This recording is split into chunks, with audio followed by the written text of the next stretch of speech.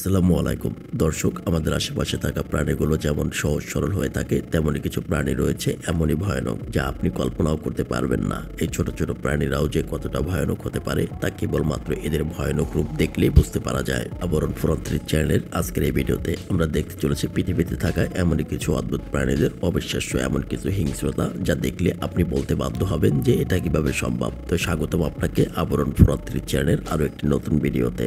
Stone fish প্রিয় দর্শক সামুদ্রিক প্রাণীদের ভয়ঙ্কর হয়ে উঠতে বিশাল দেহের প্রয়োজন হয় না। কারণ সমুদ্রে এমন কিছু প্রাণী রয়েছে যারা মাত্র কয়েক সেন্টিমিটার আয়তন বিশিষ্ট হলেও এগুলো এমন হিংস্র হয়ে উঠতে পারে যা আপনি কখনো কল্পনাও করতে পারবেন না। যেমন এই স্টোন ফিশ এই স্টোন ফিশ সমুদ্রের তলদেশে ছদ্মবেশ ধারণ করে এভাবেই স্থির হয়ে থাকে। যখন এর আশেপাশে কোনো মাছ চলে আসে, তখন এরা খুব সহজে বিদ্যুৎ বেগে সেই মাছটিকে শিকার করে ফেলে। স্টোন ফিশের পুরো গায়ে এমন ভয়ঙ্কর কাটা দিয়ে পরিপূর্ণ। স্টোন ফিশের উপরে যদি কোনোভাবে আপনার পা পড়ে যায়, তাহলে চিরদিনের জন্য আপনার পা অচল হয়ে যাওয়ার প্রবল সম্ভাবনা রয়েছে। আর এই প্রাণীদের চোয়ালে এতটাই শক্তি যে খুব সহজে এই ক্যানগুলোর এই অবস্থা করে ফেলে। এবার কল্পনা করুন, আপনার হাত যদি এই প্রাণীর মুখের ভিতরে দেওয়া হয়, তাহলে কি হতে পারে?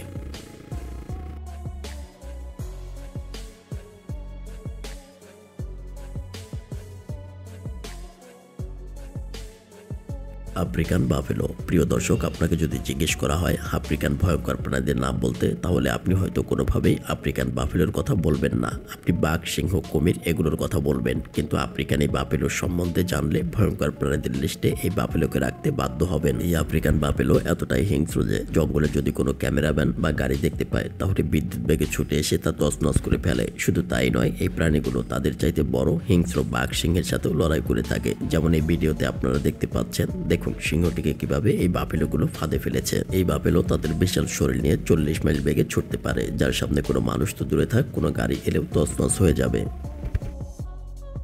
দর্শক, এই প্রাণীটিকে দেখতে যেমন কুমিরের মতো, ঠিক তেমনই এর আচরণও অনেকটা কুমিরের মতোই। এই প্রাণীটি এতটাই হিংস্র যে এর যাত্রাপথে যাই পায় তাই শিকার করে ফেলে, আর এর চোয়ালের শক্তি কুমিরের মতোই। যে কোনো প্রাণীর হার এক কামড়ে আলাদা করে দিতে সক্ষম এই প্রাণীটির পেশিবল চোয়াল।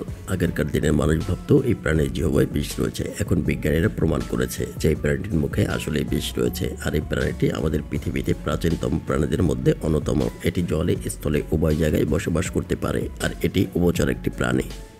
হায়না, দর্শক, এই ভিডিও দেখে মনে হতে পারে হায়না খুবই শান্তশিষ্ট একটি প্রাণী, তবে হায়না প্রকৃতপক্ষে কতটা হিংস্র প্রাণী তা প্রায় আমরা সকলেই জানি। আফ্রিকার সোমালিয়া ও সাউথ আফ্রিকার আদিবাসীরা এই প্রাণীকে পুষে থাকেন আর হায়নাগুলোকে দিয়ে বিভিন্ন হাট বাজারে খেলা দেখিয়ে অর্থ উপার্জন করে। হায়নাগুলোকে সিংহের সামনে দেখতে অনেকটা ছোট মনে হয়, কিন্তু এটাকে দেখতে যতটা ছোট মনে হয়, এরা তার থেকে অনেক ভয়ানক ও হিংস্র। হায়নার ওজন প্রায় একশো কেজির উপরে। হায়না দিনের বেলায় অনেক শান্তশিষ্ট থাকে, কিন্তু রাতের বেলায় তার হিংস্রতার প্রকাশ পায়। এগুলো এতটাই হিংস্র হিংস্র যে তার থেকে বড় প্রাণীদের কাছ থেকে শিকার ছিনিয়ে নিয়ে খেয়ে ফেলে। এদের কাছে বাঘ, সিংহ, যাই হোক না কেন, এরা দলবদ্ধভাবে শিকার করে বলে হায়না এতটাই সফল প্রাণী। African crocodile. দর্শক, আপনারা হয়তো ভাবছেন, আমি কুমিরের কথা কেন বলছি? কারণ কুমির তো আমরা প্রতিদিন দেখে থাকি। তবে কুমির আমরা প্রতিদিন দেখে থাকি, তা ঠিক আছে। কিন্তু আমরা আফ্রিকান কুমিরদের সম্পর্কে খুব বেশি একটা জানি না। এই আফ্রিকান কুমিরের সাইজ একবার দেখুন। এরা শুধুমাত্র বিশাল আকৃতির নয়, এরা যে নদী বা খালে থাকে, সেই নদী বা খালে এরা ত্রাসের সৃষ্টি করে। এই নদী বা খালে কোনো প্রাণী পানি খাওয়ারও সাহস করে না। এগুলো এতটাই হিংস্র যে প্রায় এদের স্বজাতিকেও আক্রমণ করে বসে। প্রতি বছর কিছু আফ্রিকান আদিবাসী এদের বিভিন্ন রকমভাবে শিকার করে থাকে। তাই এই প্রজাতির কুমির এখন বিলুপ্তির পথে।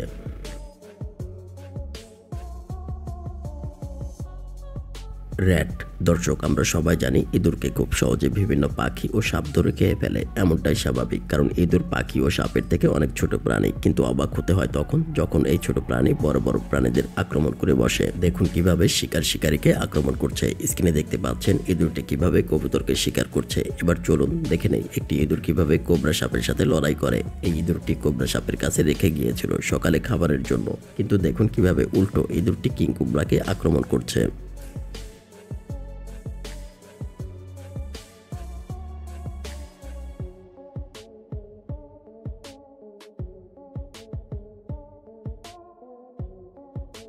পেলিকান্স, এদের দেখে আপনাদের যদি মনে হয় এরা সারাদিন পানিতে বেঁচে থাকে এবং মাছ শিকার করে, তবে এটা আপনাদের ভুল হবে। এদের প্রধান খাদ্য মাছ, সেটা ঠিক আছে, কিন্তু এরা প্রচণ্ড হিংস্র বটে। এরা যখন খুব ক্ষুধার্ত হয়ে যায়, তখন সামনে যাই পায় তাকে গিলে ফেলে। সেটা ইঁদুর, কবুতর কিংবা নিজের স্বজাতিকেও পেলিকান্সের চোয়ালের নিচে এমন ধরে থাকার ফলে জীবন্ত প্রাণীকে এভাবেই বধ করা সম্ভব হয়ে থাকে। এরা যখন কোনো প্রাণীকে ধরে, প্রথমে তাকে শ্বাসরোধ করে মেরে ফেলে, তারপর তাকে গিলে ফেলে। প্রিয় দর্শক, ভিডিওটি ভালো লাগলে লাইকে ক্লিক করুন। বন্ধুদের সাথে শেয়ার করুন। আমাদের চ্যানেলে নতুন হলে সাবস্ক্রাইব করার অনুরোধ জানিয়ে ভিডিওটি এখানে শেষ করছি। কথা হবে ইনশাল্লাহ নতুন কোনো ভিডিওতে। আবরণ ফোনান্ত্রী চ্যানেলের সাথে। সেই পর্যন্ত ভালো থাকবেন, সুস্থ থাকবেন।